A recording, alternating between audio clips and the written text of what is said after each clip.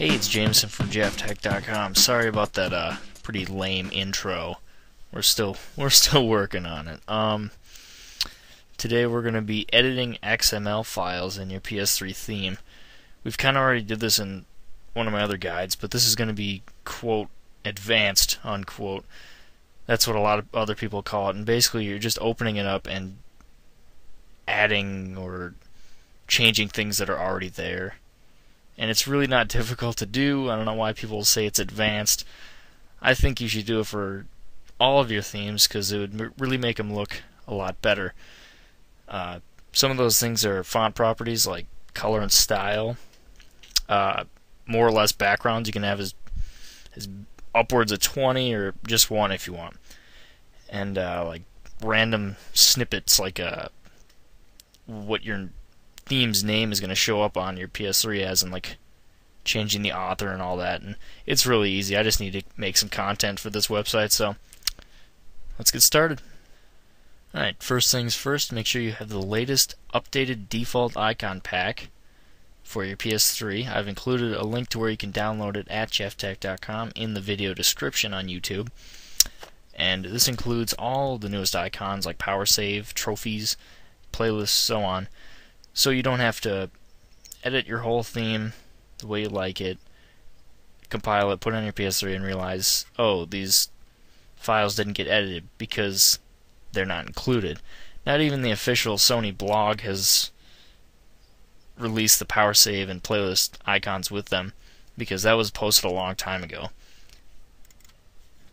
So go ahead and open this up, icons. This isn't what they're going to look like. These aren't default, obviously. I uh, used Photoshop's automate features, so I just edited one and I said do the rest, and it edited all these for me the exact way I wanted them to. So that's another tutorial I have at jaftek.com. But we're just going to be dealing with this file. It is our XML. Uh, XML is a pretty handy markup language, but all we're going to be doing with it today is editing a little bit of text in it. Mine opens with Dreamweaver, your yours might open with Word, uh, WordPad, Notepad. It really doesn't matter. We're just going to be editing the text in. Any word processor will do that for you. Alright, once we're in here, we're going to edit a few things in here. Remember, the font, like color properties, stuff like that, uh, the backgrounds, and theme snippets, like the name and author and stuff like that we can go ahead and do that right here. Arguably the most important one that you'd probably want to change is this. Because this is what your theme is actually named. Uh, when you open it up on your PS3, this theme will be called jaftek.com. Go ahead and change this. I'm just trying to make a little bit of revenue here. Just got to keep the site afloat. So I'd be glad if you change this. So go ahead and call that example or your name's theme or something. Uh, this that's shown in the theme menu. This go and change it to Google or something. I don't care. Uh, yeah, most of the stuff is self-explanatory. Really, just fill it in the way you want it to. Things you shouldn't touch though is anything within quotes ending in .png within here. It's it's telling your XML where to find these images, and unless you've changed them, don't edit these. But you can edit the icon.png itself if you wanted to.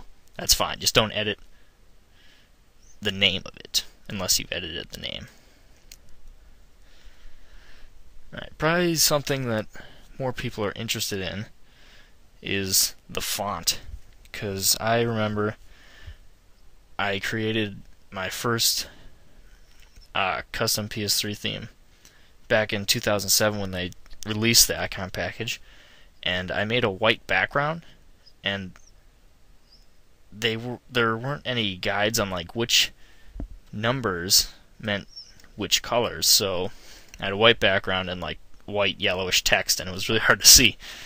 But thankfully now, which is why I'm stalling, we have the numbers, and I should list them in the video here as to what means what.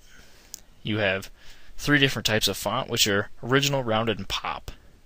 And there are several font selections, any any that'll work with any background color, which is really nice. And for a written list, you can check out jaftek.com. Again, there's there's a link in the video description. So yeah, if you wanted to change this to say dark blue, number six. It's as easy as that, and just say you want a default. Sounds good. Alright, more info coming up. Background images. This theme comes with three. It cycles through these randomly throughout the day. But let's say you only made one background. You only edited the A under slash HD and the SD. And you don't really want to have to copy and paste it in your icon folder and change the names because that's just a waste of time. You just want one background. File save, you're done. Easy as that.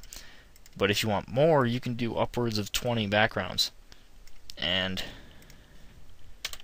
you can do it like this, just copy, paste, and make sure you change the naming structure. So just go in order here. A, B, C, D under slash HD. D. And if you have them name something else, uh, go ahead and change the name to that. It'll work just fine, and you can do that upwards of 20 times. So yeah, really basic.